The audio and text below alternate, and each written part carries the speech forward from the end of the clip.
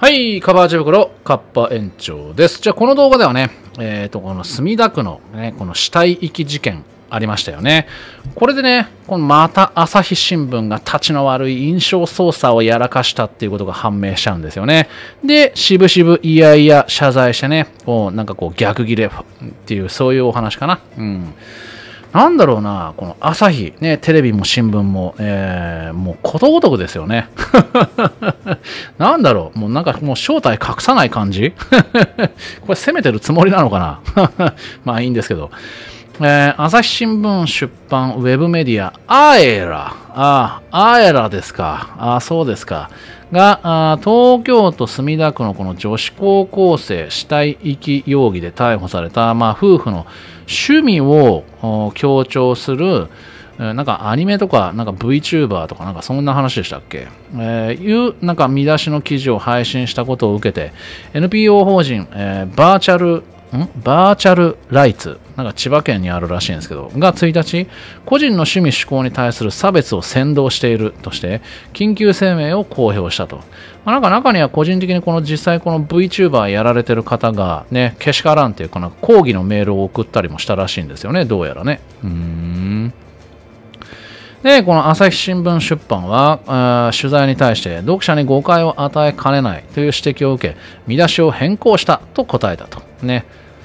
えー、で、このアエラが、あバ、カタカナのバで美しい肉、これなんて読むの？バビ肉？アニメ好きの20代新婚夫婦が女子高生を殺害した仰天の動機と題した記事を公開。えー、東京都墨田区の女子高校生が殺害された事件で逮捕された群馬県の夫婦について、えー、取り上げた内容、えー、記事では夫婦がアニメ好きで美少女のアバターに自身を受肉させる受肉って何、えー、受けるにこの主治肉林の肉、受肉させるバビ肉を趣味にしていることなどが触れられていると。はあ、何言ってるか全然意味がわかんないですけど、興味ある人はちょっと個人的に調べてみてください。もう興味ないし、なんか気持ち悪そうなんで、僕はあの調べないですけど。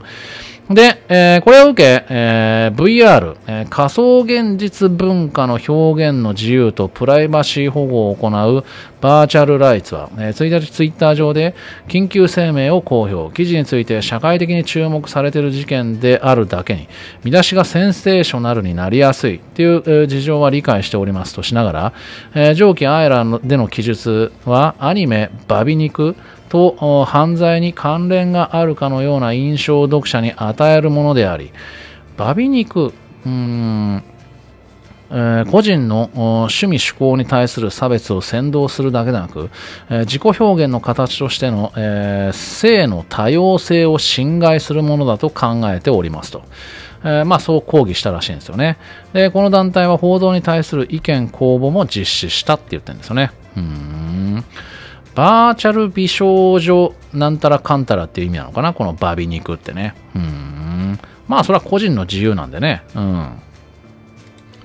で、えー、またこの VTuber のバーチャル美少女ネムさんが1日自身のノートで、えー、バ美肉が殺人動機と誤読させ、えー、界隈のイメージを下げ関係者を傷つける極めて悪質なタイトル。と、えー、記事を批判、えー、朝日新聞出版に記事の修正と謝罪文を求めるメールを送ったことを報告していると。へまあこのバビ肉、バビ肉、ね、この読み方もバビ肉で合ってるかどうかも定かじゃないですけども、まあバビ肉でどうも合ってるっぽいんですけど、これなんかなか意味、バビ肉とはみたいな感じで調べてみたら、書かれてる内容もちょっと意味がよくわかんないんですよね。なんかこう、一般的な意味としては、中の人があ美少女やイケメンの 2D や 3D モデルのアバターをまとうことを指すみたいなこと書かれてるんですけど、なんだろうな、その受肉っていう意味がよくわかんないんだけど、まあいいか。バビ肉とは主にバーチャル美少女受肉、あるいはバーチャル美少女セルフ受肉。何のことやらよくわかんないんですけどもね。バーチャル美少女として受肉することを指す。あ、そうですか。まあいいんですけどね。これがまあなんか実際にそれをしている人たちから、まあなんか、えー、だからあ、このなんか事件が起きたわけではないっていうことを言ってるんですよね。うん。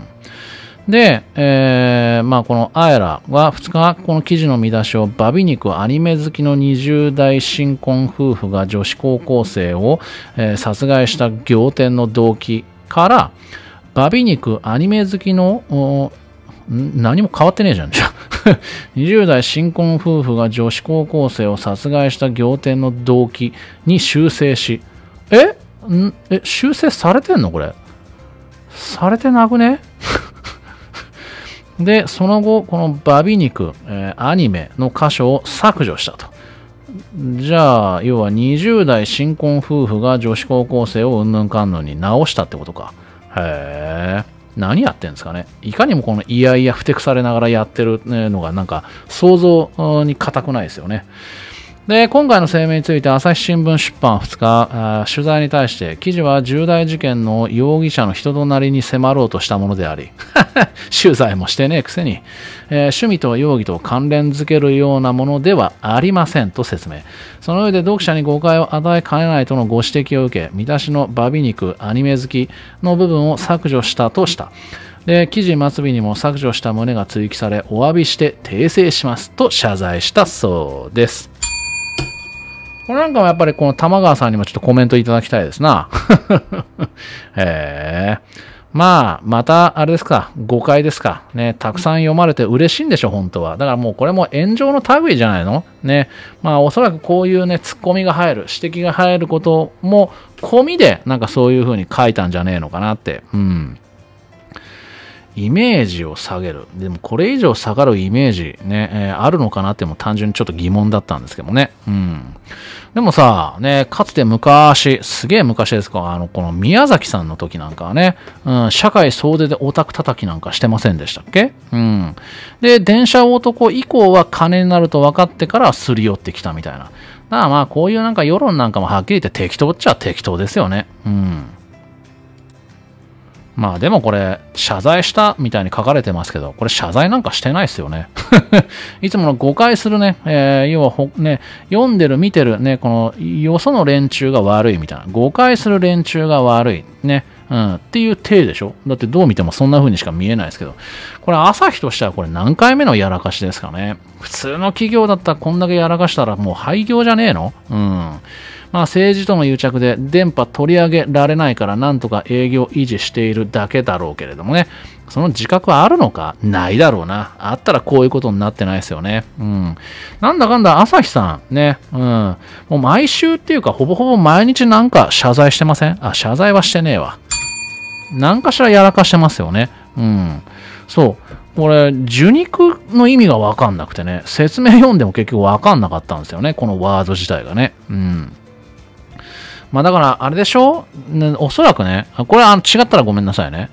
中身が、まあ、は、この男性を公言して、えー、要は女性のこの VTuber の格好で、まあなんかボイスチェンジとかなんか使ってさ、なんかアプリとかなんか、あと物理的なそういうチェンジャーもあったかな？そういう格好で配信していることを言うのかな？だから声を女性に加工しているのもあるし、あとなんかおっさんの声そのまんまっていう。多分なんか、だからあれでしょ？あれはもうイメージね、それ以上下がんねえだろうって思うんですけどもね。いや別にそういう人たちね、別に悪く言うつもりはないですよ。ね、やりたい人は勝手にやればいいと思うし、ね、それに対する需要もあるからね、成り立ってる格好だと思うしね。うん。まあ、それはともかく、えー、あえら、ね、何度目だよと。うん。ここもね、もう朝日ね、グループまるっと解体した方がいいんじゃないのやっぱりね。うん。まあ、朝日が謝罪したっていうんだったらね、うん、今後少なくともね、あそうだな、ざっくりあの国のあの人たちをね、こうなぞらえて、70年以上謝罪と賠償にね、要求することができる格好ですからね。え、だってこの人たちが日頃から言ってることじゃないですか。ね、うん。でもさ、このバビ肉、バビ肉配信、ね、被害云々言ってましたけどもね、このなんか抗議した団体、うん。え、被害に遭うとしたら、図式としてはね、女性だと思って楽しみにね、ずっと応援し続けてきた男子の方じゃないの？え、だって普通に考えてね、えー、中身おっさんっていうのを承知でね、応援する人がそんなにいるようには思えないんだよな。うん。ね、女性のキャラクター、ね、女性配信者だと思ってたら、騙されたっていうのはなんとなく想像つくんですけど、違うのかな？わかんないですけど、そういう意味じゃ、その騙されたっていうね、こっちのなんか男性ファンの人たちの方なんじゃないのかな？被害者といえばね。うん。まあ別にいいですけどね。うん。っていうか修正されてないよね、これね。うん。記事ちゃんとチェック。だからもうこういうところからしてこの朝日のこの企業としてのこの体質がよく出てるよね。うん。絶対不適されて血うっせえなっていう調子だよね。うん。もうなんか結局ね、この朝日に限らず日本のこの反日マスコミ全部そうですけど、固定観念の植え付け、ね、もうあとこのなんか悪質なね、この変更、捏造報道でしょ。ほんと懲りないっすよね。うん、だからもう止めちゃうしかないと思うんだけどな。うん。ね、謝罪なんかしてないんだからさ。ということで今回は以上です。ありがとうございました。ではまたごきげんよう。